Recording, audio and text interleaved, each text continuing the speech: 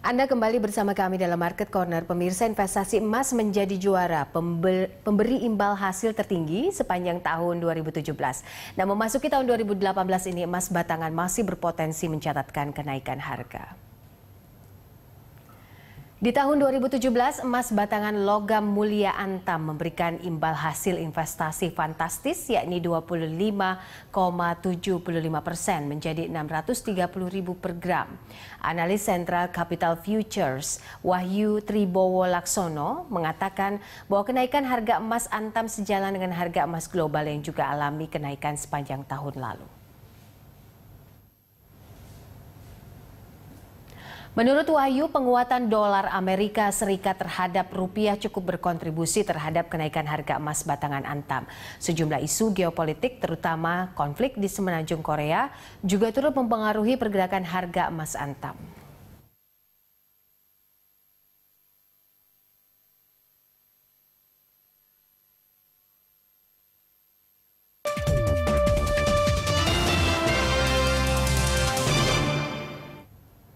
Pemirsa investasi emas menjadi juara pemberi imbal hasil tertinggi sepanjang tahun 2017 lalu.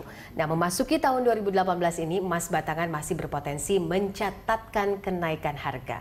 Lantas bagaimana kilau investasi emas di tahun 2018? Untuk membahas hal itu telah hadir di studio kami narasumber kami yaitu Direktur Utama PT Garuda Berjangka Bapak Ibrahim. Terima kasih sudah hadir Pak Ibrahim. Ya, Kalau kita melihat uh, tahun 2017 lalu beberapa uh, satu minggu yang lalu bahwa ada investasi fantastis ya ini 25,75 persen di mana harga emas ini berada di angka 630 ribu per gram. Menurut catatan dan perspektif Anda sendiri seperti apa kilau emas kita kilas balik sedikit di tahun 2017?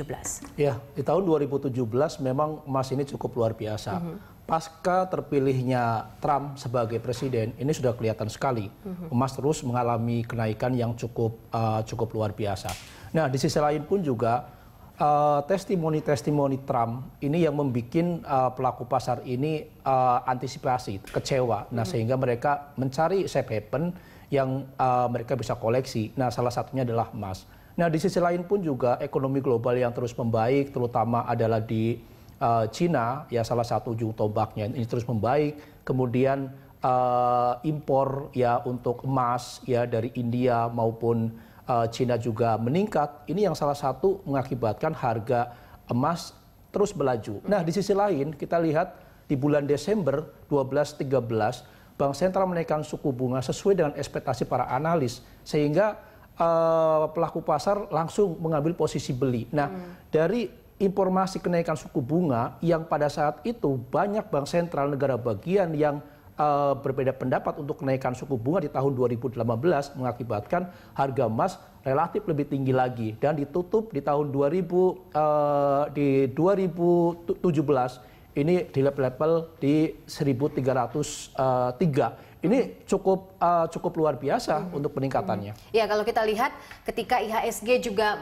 menorehkan prestasi yang baik begitu di akhir tahun 2017, lalu kemudian ternyata ada lagi berita positif dan optimis bahwa ternyata investasi emas ini di atas IHSG peningkatan atau bursa sahamnya ya. pada saat ini.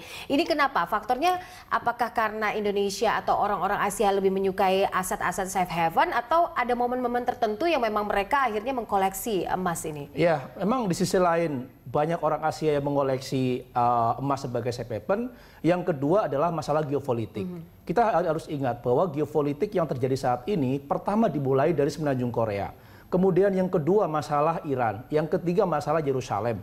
Apa ucapan-ucapan ya testimoni-testimoni yang diberikan oleh Trump ini sebenarnya adalah membangkitkan pelaku pasar untuk melakukan safe haven. Hmm. Ada ketakutan-ketakutan akan terjadi tahun 2018 perang besar antara Amerika dan Korea. Kita juga sudah tahu ya saat ini bagaimana uh, Presiden Trump di Twitter dia uh, melakukan uh, istilahnya uh, menakut-nakuti Korea Utara ya bagaimana dengan misil ya kemudian uh, bahwa Amerika sendiri mempunyai reaktor nuklir yang lebih besar dibandingkan dengan Korea. Ini salah satu penyebab secara geopolitik ya yang mengakibatkan harga emas cenderung mengalami penguatan sampai saat ini. Mm -hmm.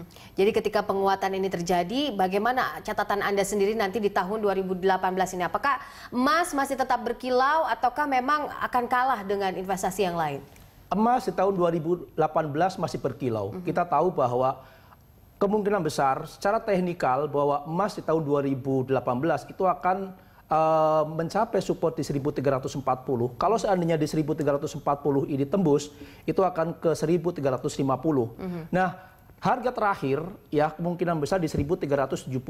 Ini harga paling tinggi kemungkinan yang akan terjadi uh, di tahun 2018. Ini pun juga apabila masalah geopolitik saat ini belum terselesaikan, terutama dalam masalah Yerusalem, mm -hmm. ya, kemudian masalah Iran dan masalah Korea. Mm -hmm. Ini ini cukup luar biasa. Jadi kalau orang mau mengatakan bahwa harga kemungkinan besar akan tercapai di 1340, kalau seandainya tembus di 1352. Hmm. Kalau seandainya tembus, ini yang terakhir itu adalah di 1375. Ini level tertinggi. Misalnya saat inilah yang paling tepat bagi pelaku pasar, ya bagi orang-orang yang suka uh, mengoleksi emas, baik emas batangan maupun emas perhiasan, hmm. untuk melakukan pembelian saat ini. Saat ini saat yang tepat hmm. sekali, karena memang kondisi geopolitik saat ini yang terus memanas, ini membangkitkan pelaku pasar untuk kembali mengoleksinya. Nah, kalau kita bicara kemarin saya sempat juga ada data dari KC bahwa e, ternyata para pelaku atau investor ini banyak membeli saham di pasar bursa hmm? itu ada beberapa generasi. Nah, salah satu yang mencengangkan adalah adanya uh, generasi milenial yang cukup masuk ke pasar bursa.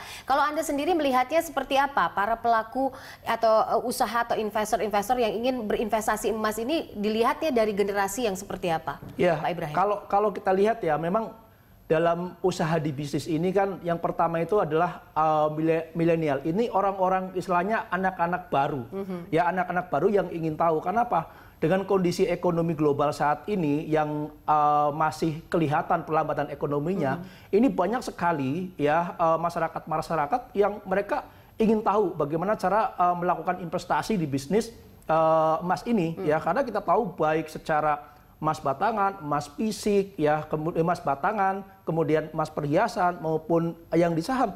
Ini semua mereka ingin belajar. Ya, mereka ingin belajar. Kenapa? Pada saat mereka sudah menguasai ya terhadap produk tersebut, mereka dengan mudah untuk mendapatkan keuntungan. Nah, itu dia. Nanti kita akan tanyakan lagi pemirsa seperti apa produk-produk emas yang memang tepat sekali jika Anda e, beli atau Anda menginvestasikan uang Anda untuk membeli investasi emas ini di tahun ini. Sesaat lagi tetaplah bersama Market Corner.